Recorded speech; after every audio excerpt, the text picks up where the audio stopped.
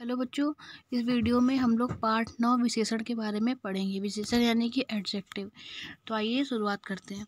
यहाँ पे लिखा हुआ है, निम्नलिखित वाक्यों को ध्यान से पढ़िए। ठीक है?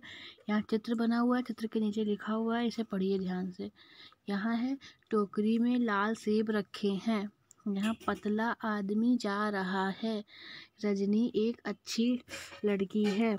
मोटा लड़का कुर्सी पर बैठा है। तो हमने यहाँ देखा कि ये जो यहाँ पे लाल है, वो लाल शब्द से लिखा है, पतला भी लाल से लिखा है, अच्छी भी लाल से लिखा है और यहाँ मोटा भी लाल से लिखा हुआ है। तो इससे क्या पता चलता है कि और आगे भी दिया हुआ है कि यह घर सुंदर है। हाँ और यहाँ पे है कि अच्छे बच्चे खेल रहे हैं। यहाँ दिए गए वाक्यों में लाल शब्द से सेब की विशेषता पता चलती है। इसी तरह पतला शब्द से आदमी की अच्छी शब्द, लड़की की मोटा शब्द, लड़के की सुंदरता शब्द से बच्चों की विशेषता प्रकट हो रही है। अतः यह सभी शब्द विशेषण है। मतलब कि अभी हम लोगों ने चित्र से देखकर जितने वाक्यों को पढ़ा, उसमें जो ये लाल रंग से लिखा हुआ था, सुंदर, अच्छे, ऊपर सेब, लाल सेब अच्छा लड़, अच्छी लड़की, मोटा लड़का लिखा हुआ था, ये सब क्या है विशेषता होते हैं? विशेषता के तो ये विशेषता बताते इन्हीं को विशेषण कहते हैं। ठीक है? आगे देखिए, आगे है, अब हम लोग विशेषण की परिभाषा देखते हैं। ठीक?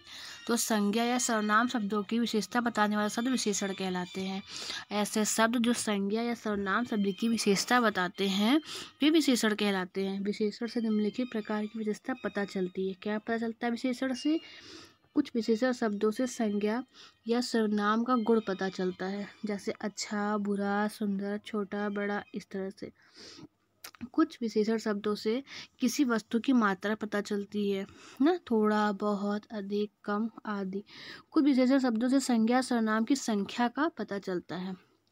तो जैसे तीन, पाँच, सौ, हज़ार, लाख, आदि। फिर यहाँ पे दिया हुआ है पाठ का सार। तो विशेषण शब्द किसी व्यक्ति, वस्तु, स्थान आदि की विशेषताओं को प्रकट करते हैं। जैसे संज्ञा सब संज्ञा परिभाषा क्या होती है? किसी व्यक्ति, वस्तु या स्थान के नाम को संज्ञा कहते हैं। तो विशेषण शब्द क्या होगा? जो ये व्यक्ति, वस्तु, जो स्थान होते हैं, उनकी विशेषता बताते हैं। ठीक है उनमें क्या क्वालिटी है? विशेषण शब्द वस्तु या व्यक्ति के गुण, दोष, माप, थोल या मात्रा के बारे में बताते हैं। आगे देखिए, यहाँ पे अभ्यास कार्य दिया हुआ है। उचित उत्तर पर निशान लगाइए। राकेश, बहुत मेहनती है। इस वाक्य विशेष शब्द कौन सा है? विशेषण क्या है? मेहनती ठीक है। सिपाही देश का रक्षक है। तो इसका क्या होगा? इस वाक्य में रक्षक क्या है? विशेषण है। नेहा ने गुलाबी फ्रॉक पहनी। इस विशेषण शब्द इसमें विशेषण शब्द कौन सा है? तो गुलाबी है। निम्न प्रश्नों के उत्तर दीजिए। विशेषण किसे कहते हैं? इसकी परिभाषा आपको अपने बुक से देख के लिखनी है। फिर है कि विशेषण कौन कौन सी विशेषताएँ बताते हैं। विशेषण गुण, दोष, मात्रा, संख्या आदि बताते हैं। ठीक है? यहाँ पे देखिए। बादल में से संज्ञा व विशेषण सब छाटे उचित स्थान पर भरिए।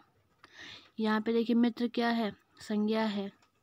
ठीक है? एक क्या है? विशेषण है। कच्चा क्या है? विशेषण होगा। प्यारा क्या है? विशेषण। दूध क्या है? संज्ञा। रसीला क्या है? विशेषण आम क्या है? संज्ञा। चीनी क्या है? संज्ञा। फीका क्या है? विशेषण है। केला, संज्ञा। पेंसिल भी संज्ञा है। कमज़ोर विशेषण है। नुकीली विशेषण होगा। शेर संज्ञा होगा। ठीक है? उसके बाद देखिए, आगे का अभ्यास दिया है। निम्नलिखित संज्ञा शब्दों के तीन तीन विशेषण लिखिए। उदाहरण देखिए। दूध कैसा होता है? दूध मीठा, फीका ताज़ा। भालू के लिखिए, काला होता है, मोटा होता है, ना जंगल में रहता है तो इस तरीके से लिखना है।